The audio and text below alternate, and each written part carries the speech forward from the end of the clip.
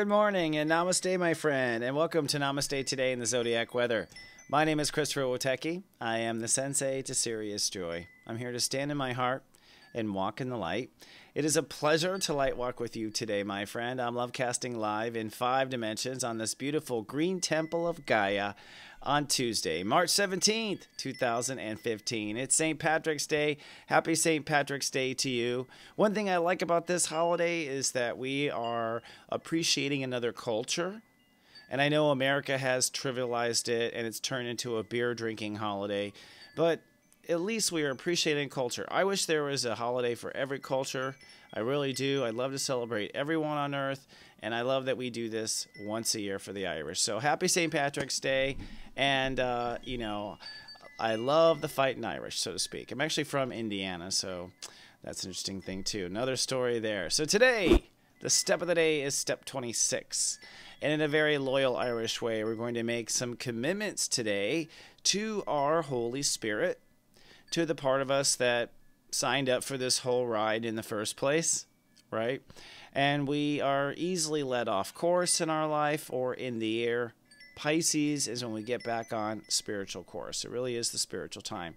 So today it's a spiritual commitment for most of the day. And then later this afternoon, as the sun is setting, it will be time to act on that commitment, or you'll feel the anxiety of wanting to act on that commitment. But before we talk about all this serious commitment stuff, let's first tame our brain, shall we? With the phrase of the day I feel my heart, I commit to my truth, and so it is. Or truths, you can pluralize that. You can boil it down to one truth. But our truth is our sole purpose. We're here to live our truth. I know we're worried the world can't handle it. Me too. You know, like I'm all with you there. That's where I'm with you, brothers and sisters, you know. But we don't have to live it just yet. I'm just saying, let's commit to it. Let's commit to our truth. Let's feel our heart. It's about feeling it, not thinking about it. There is a difference. And committing to your truth. If you're feeling your heart, you will feel your truth. They go one and the same. And committing to that in the sense of going to stand by it Gonna pay attention to it. Gonna notice when I'm not in my truth. That is your power, really, is simply to stay in your truth in every moment. Not easy, like I said, but it is our, our power. So today I feel my heart and I commit to my truth, and so it is. I thought so. The Sirius step of the day is step 26. This adds to an 8. An 8 is Saturn. Saturn is Capricorn. Capricorn is when we commit, when we decide, this is how we control things, is through our decisions and us living up to our decisions. But what's interesting in the architecture of incarnation is that the decision is based on the easy going and flowing of uh, consciousness. So you want to commit to something that you can give and receive easily to. That's what you want to commit to. And this right away exposes some of our Capricorn errors right now on the planet, right? Hasn't humankind always said, commit to the impossible? Commit to something way out of your reach. Commit to something that's, you know, high, high, high up on a mountain. And yes, that's a decision, that's an overall goal, but is it our absolute commitment? No, I think our absolute commitment is to maybe one step higher right now. That's really where our absolute commitment is. And see, if you're always committed to that one step higher now, you'll reach that goal, right? But as far as spiritual, mm, getting that that strength behind us to actually get off the couch and make our life different, well, let's keep it in perspective, shall we? We want to make commitments to things that we can give and receive easily with. That's a no brain commitment, right? And that's a world inner peace commitment. You're not going to put yourself in any crazy chaos if you make a commitment to something that is easygoing, where there's easy giving and receiving between both parties or all parties involved in the commitment. So uh, ponder that today as you go about your day and before you make your personal commitments. Looking at the colors of the day, it starts with yellow. I feel what I am becoming. That is the two. I feel the giving and receiving. that is the six, which is up in the throat chakra. So, you know, we could talk easily back and forth. Ah, maybe you should commit to her. and then this leads to a decision what's best now? That's another thing about where we're a little goofy in Capricorn. We should be deciding for what's best now, not what's best for our future, right? If it's what's best now, and that doesn't mean we're irresponsible, but if it's what's best now, our future will end up in a good place, will it not? This is what the power of the now is really about. It's not about being bored of our mind in the moment. It's about knowing that the moment is all you got to be good at. Be good at the moment, you got it, man. So today it's making a decision of what's best now. Let's take a look now at our cosmic clock.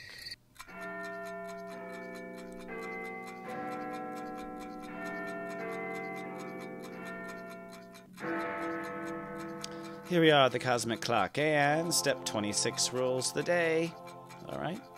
So we're about to cross the border into Aries, and when we do, we will have uh, a birth, a sprouting. Our heart will then sprout into this new ego, this new expression of ourselves. So these are the final degrees of higher faith, really, in the high Pisces concentration. Higher faith that everything will work out. Faith means there's no evidence. Now, this is interesting. Mercury, our mind, our intellect, is crossing wires with the God consciousness, Neptune. All right. So, our Mercury today is at step seven. So, we actually are one with God. Step seven is Pisces, it is the energy. So, it's a Grandmaster step, the first Grandmaster step of, of Pisces. And of course, Neptune actually is also in Pisces, but Neptune just stepped up to step eight. So Neptune is now at step eight. Neptune was at step seven. This is fascinating for the whole early part of the Pisces transit. We were at step seven, purebred, purebred Neptune pouring down the pipes. So was Chiron at step 16, equaling a seven. Chiron's about to go also to the next step. But first, Neptune. So what does this mean?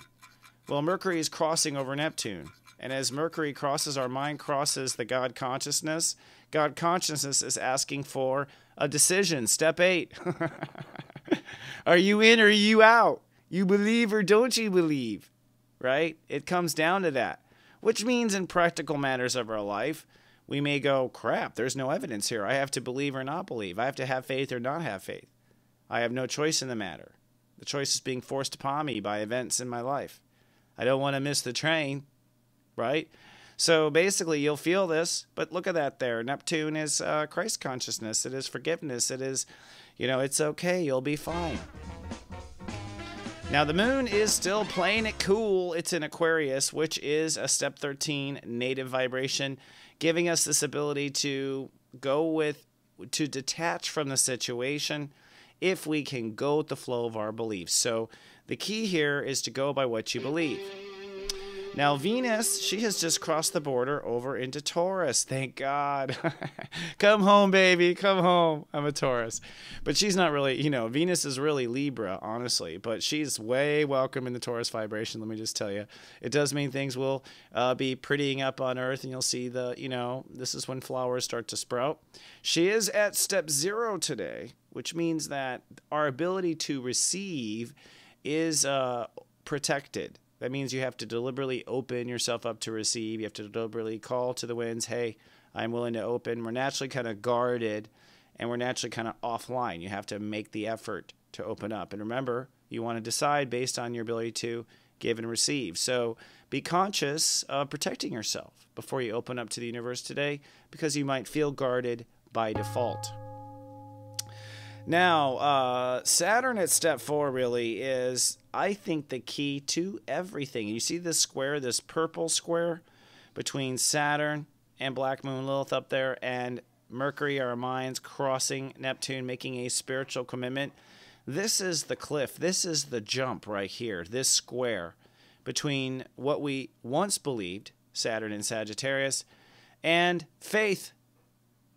Faith in the universe, faith in the unseen faith in everything else we know that we can't prove. That's what Pisces is. Everything inside of us, everything in our inner verse is Pisces. Basically, everything, including God and everywhere. And what we've learned on Earth. That's Sagittarius so far. right?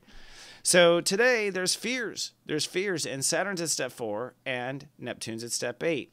So what this is basically, Saturn is the king or queen of step eight. So the power is up in Sagittarius with Saturn himself. In other words, we must let go of believing the old way, if especially if it didn't work out. Right? Let go of the old beliefs, the old philosophies. If you don't know what that sounds like in your head, it's when you are shooting all over yourself. Oh, I should do this, I should do that. Should. Hold on. All those shoulds are exactly what we were talking about maybe needs to go. And when they do go, then maybe you're free to commit to the faith because maybe we couldn't be faithful about it because we were shooting all over ourselves, right? So, uh, actually, I'm going to step up there early. Let's first go to here in the Aries vibration, we have uh, in our spiritual commitment here, we have Mars, which is saying we are about to manifest, in essence, a new foundation, a new ego. So, ego is being born. And then at the way tippy top there, Venus is opening us to actually making this happen. So, Aries is our action to maybe get pregnant, and Taurus is basically the pregnancy. You start raising the baby up from that point. So you can see this is an ego that's being born. An ego is a new way of acting, a new way of moving forward with ourself, okay? A new way of behaving as a result of all these inner spiritual changes. The sun is at step 26 for most of the day, and then God climbs to step 27 at 6:56 p.m. Eastern Time. Alrighty. So uh, right about that time, and I've actually, for those in the Sirius Joy Personal Sensing Network, I've set up a Sirius alert for this time because the moon also goes to step 22 at the same moment. So it's going to be like to get into gear. And that is right about the time people start drinking. So I just want to say, be careful, my friends. Be careful. Now, looking at the bottom of the Pisces energy, interesting stuff. The sun is way at the top, but we have Mercury crossing Neptune. So expect spacey conditions is what I'm saying. Expect to be spaced out. Expect to be like, where my where are my keys? You know, it's like uh, in your hand, dumbass. You know what I mean? Like one of those nights. Uh, but uh, in essence, in the next 24 hours, this is where we're making a spiritual commitment to ourselves. This is it, and it is in the mind. So the mind is the actual, uh, you know, trigger, if you will. And what it's triggering is us to jump into faith and onto new philosophy. So let's look at today's Joy Quest before we jump off, shall we?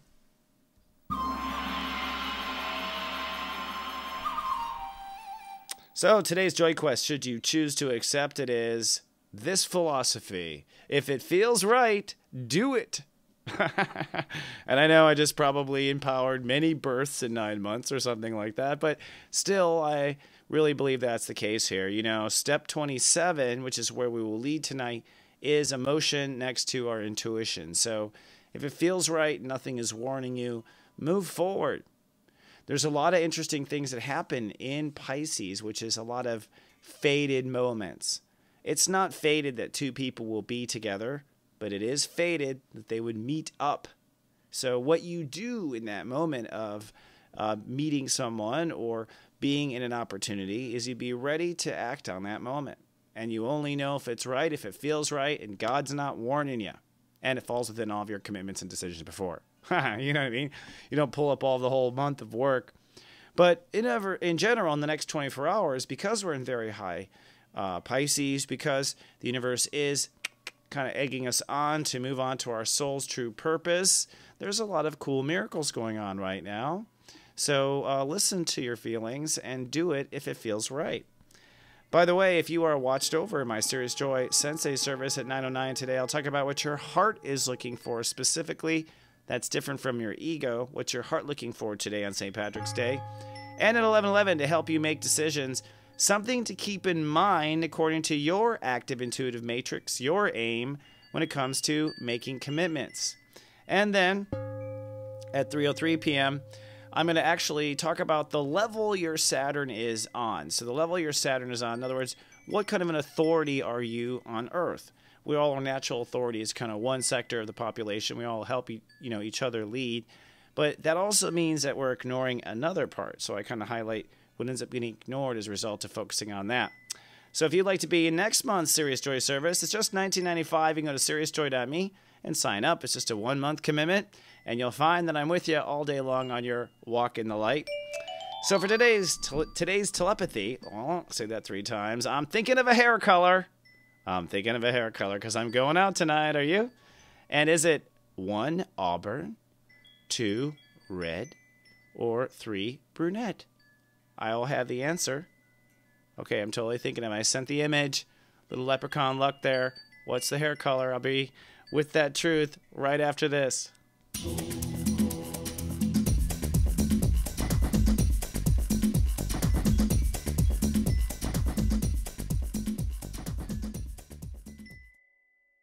Introducing Secrets of Birthdays. Bow chicka bow wow. Are you ready to find love? Bow chicka bow wow. Your secrets are coming out. Bow chicka bow wow. All those sexy secrets are available at secretsofbirthdays.com. Bow chicka bow wow, baby. Garden.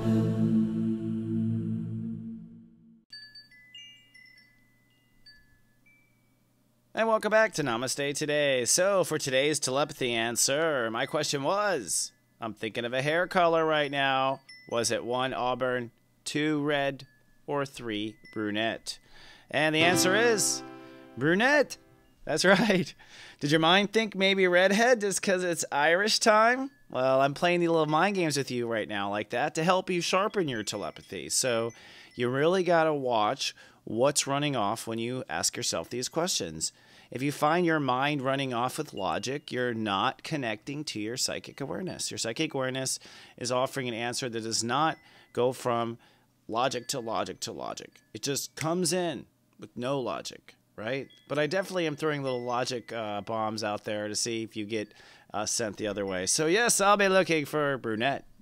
So, it's time for today's rock and roll gospel. And this week, because we're in the high vibrations of Pisces, I thought I would go over the holy rollers. That is, musicians or songs or bands that really reach a high spiritual note and are timeless in helping us stay in our hearts. Today, the high holy roller is Ben E. King.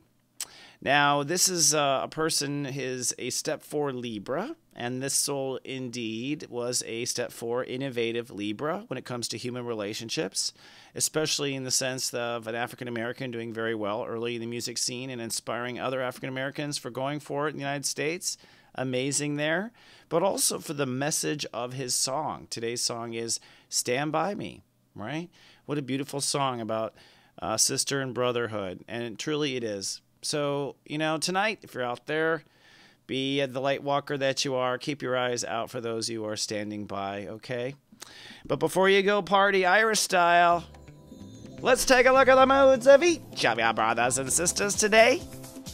And I'm going to help you understand where you need to stand by your commitments.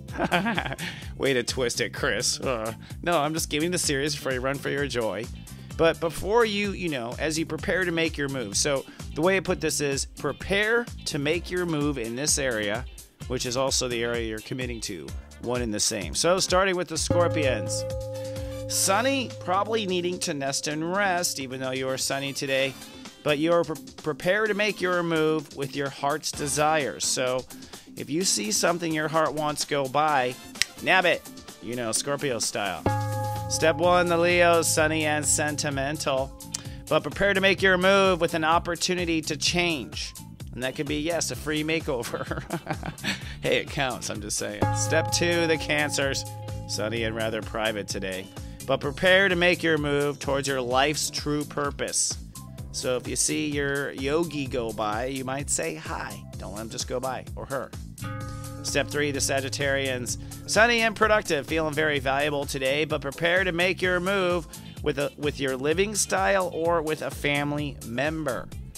Step four, the Aquarians. Sunny and cool with the moon in their sign, but prepare to make your move with investments or money right now.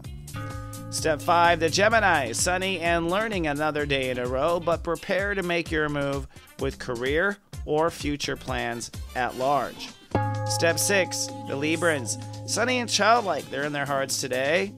They'll be definitely wearing Kiss Me I'm Irish shirts, I'm sure, the Librans. But prepare to make your move with conversation or attitude. So I guess, yeah, that would be it. You definitely want to wear that shirt or whatever, or you want to definitely move ahead if something comes up in conversation. Step seven, the high bell birthday boys and girls. Happy birthday to the Pisces. Prepare to make your move, though, with your willpower or character. So you're cloudy, private, withdrawn. But you know, if you see an opportunity anywhere under the sun that suits your soul's destiny, you definitely want to take that leap right now, Pisces. Capricorn's a step eight, sunny and productive. Prepare to make your move with contracts or contact. So, you know, making contact with someone reminds me of that 70s show. Contact is the answer. Step nine, the Aries, sunny and social. Prepare to make your move, though, with inner faith and leaping. Kind of like the Pisces just now, like just whatever your heart may want in general. Step 10, the Taurus is sunny and professional today, but prepare to make your move with social reputation or contact. I'm not saying it again. Step 11, the Virgo, sunny and hyper aware today, but prepare to make your move with relationships or marriage vows. So if you vowed to start your diet, well, be prepared to follow suit with what you promised yourself. So here we are in the Lightwalker Parade. If you're watching on YouTube, please be kind and do subscribe. It helps us with our YouTube relationship. And on Facebook, you can be our friend by using soulgarden.me, takes you straight there. And at soulmart.me, you can join our email list where I'll email you early in the morning. And don't forget, Sirius Joy Camp is coming up in about two weeks. I'm super excited. It's much better than band camp. This is a camp on joy, and you'll be able to plan your entire year. Come on down to soulmart.me for more details. And don't forget, if you join for April Sirius Joy Personal Sensei service, which you will love, by the way, I will give you $20 off of Joy Camp so I can set you up for total success here in the next year. And our modern mommies had a fun conversation about kids and video screens, and I think it's a serious topic. So come see how we added the joy at modernmommies.tv. All right, my friend, have a safe time out there, okay? Keep an eye on your brothers and sisters. Remember, I love you, and I'll see you in 24 hours. Until then, live, love, be.